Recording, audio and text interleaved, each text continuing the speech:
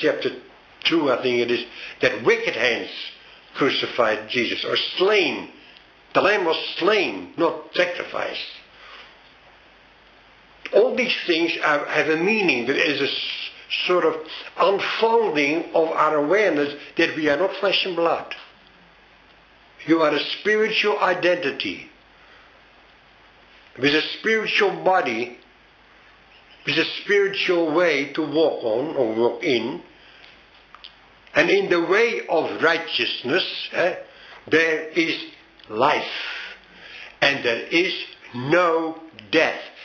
Let me tell you, there is no death.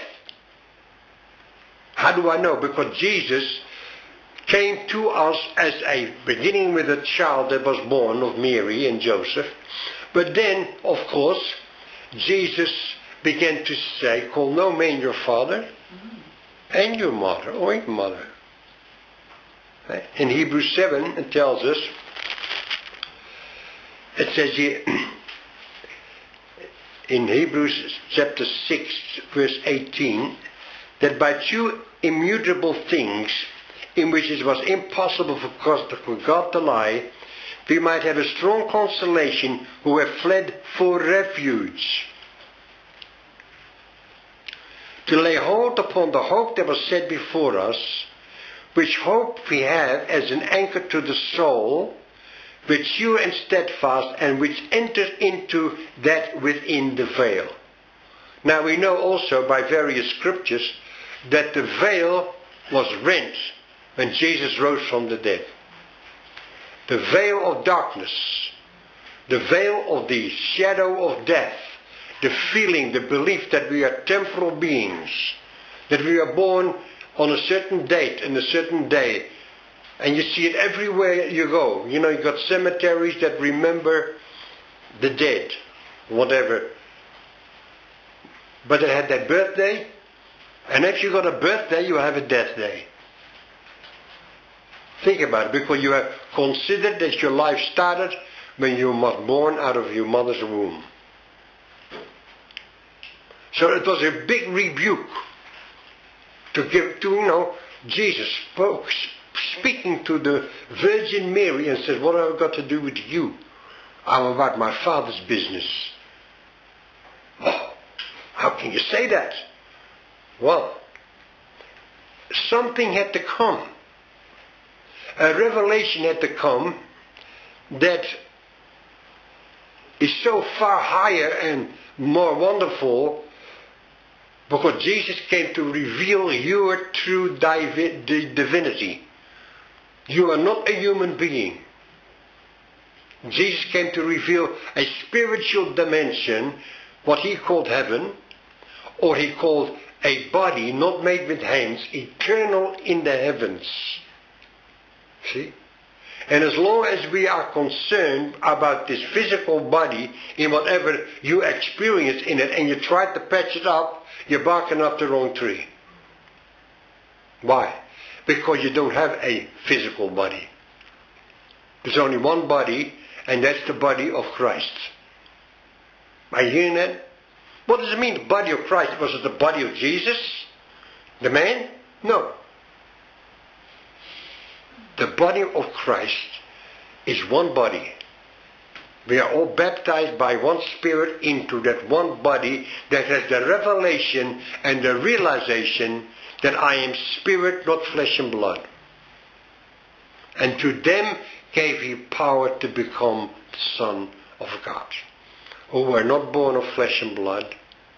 They were not born by a twinkling in somebody's eye, but they were born of God. We are born of God, beloved. You're not born of flesh and blood.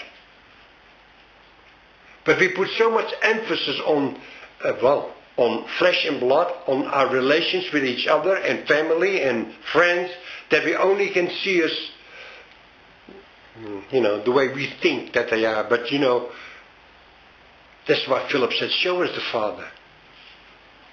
Because he only could see a man, Jesus. Although he done wonderful works, he only could still see Jesus only. And Jesus began to show many times on the Mount of Transfiguration that it was not Jesus that we should be seeking, a physical man, even a glorified man. You see, the glorification that took place was the glorification of the spiritual dimension or the divinity that every man is within himself. Now, this is called the absolute truth. There are no human beings on the earth. God does not know anything about your human experience. He doesn't know anything about your heart beating or not beating or your liver function or not function. He doesn't know anything about the what I would call the, the material substance of the bodies of men and women and children. But we are being drawn out. That's why the Spirit was given.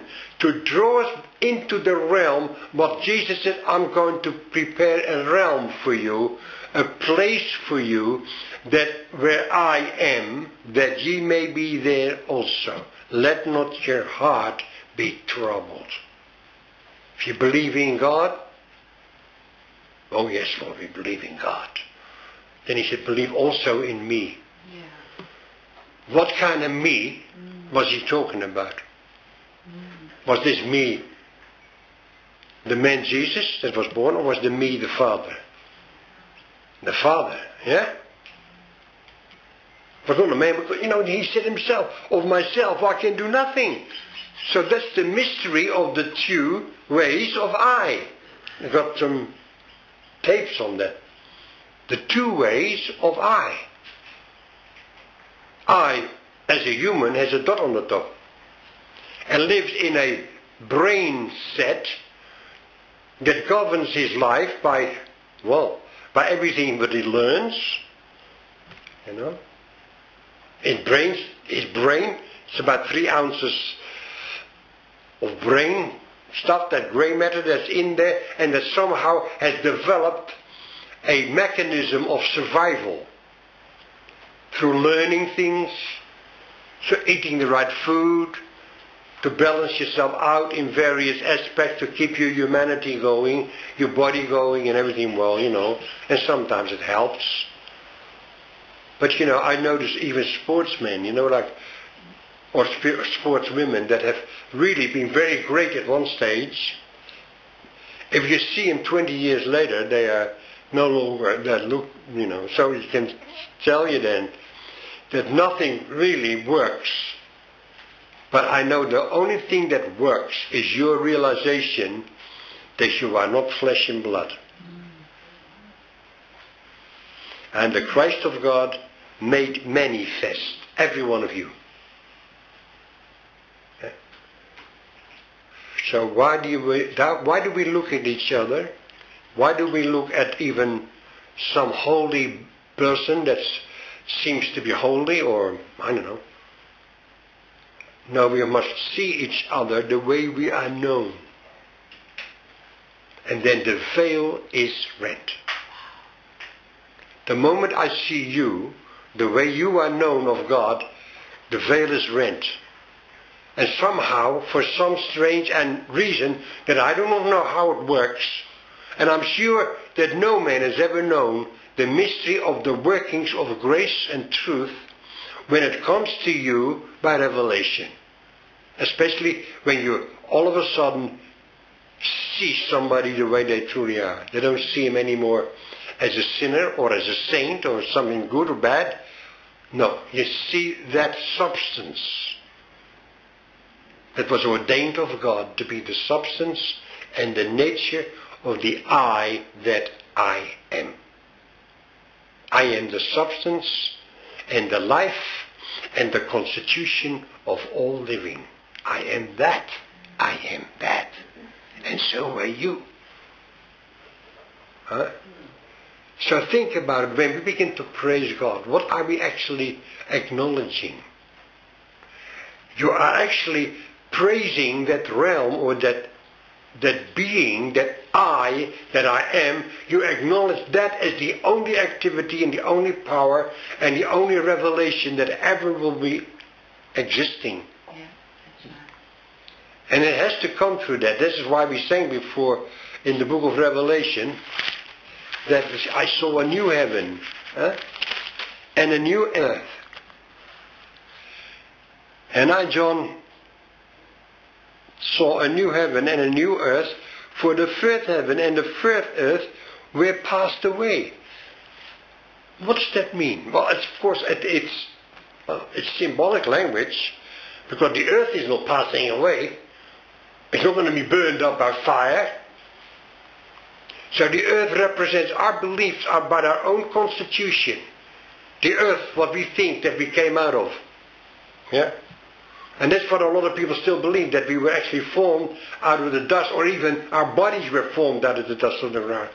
Well, your natural, what we call our natural body, is formed out of the dust of the human mind, out of the belief in two bodies, two powers, two gods, two whatever, all sorts of things. But I know in whom I believe, and I'm fully persuaded. There's only one God and Father of all, who through you all and in you all and as you all. That's the body of Christ. Yeah. They are the ecclesia. Jesus said to Peter, upon this revelation, oh, you are the Christ. Yes, Peter, so are you. Now you are the rock upon I will build my church, my body. Uh, and the gates of hell, or the powers of death, or the unseen working of the, I would call the carnal mind. Some people call it the mortal mind. What's the mind of flesh? And nothing of the human mind and its concept and its beliefs can ever enter into the realm of spirit. It cannot find its inheritance in the genes or in the molecular structure of the body. Some people are looking for that. For immortality to take this physical become immortal. It's like a caterpillar wanting to be a, an immortal caterpillar. No man, we gotta die. Jesus came to show us a way to die first.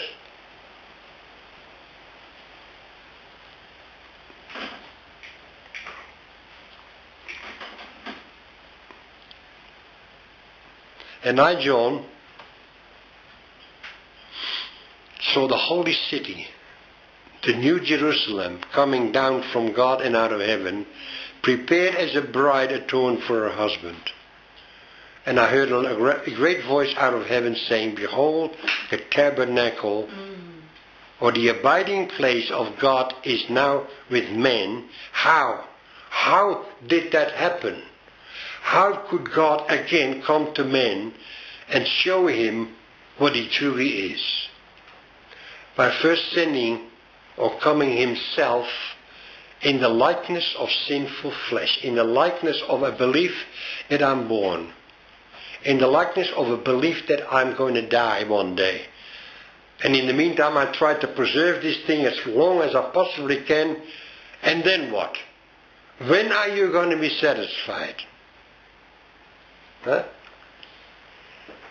When are you going to be satisfied in this human existence?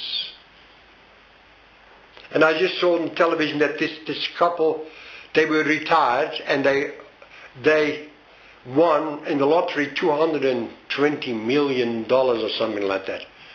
And I thought by myself, what are you going to do with it? you know, what, are you going to, what are you going to do with all that? It's crazy, isn't it? Well, it, do, it can do good. I mean, you can send it into the mission fields and you can bring it to the starving children of Africa. You can do all these things. But you must realize that the hmm, God doesn't know about that. Nobody ever died. And all God is interested in is to lift us out of the obscurity of the darkness. You know? For God commanded the light to shine out of darkness. To give us the light of the knowledge of God The knowledge of God. What's that knowledge that we can receive of the Father? What kind of knowledge is it?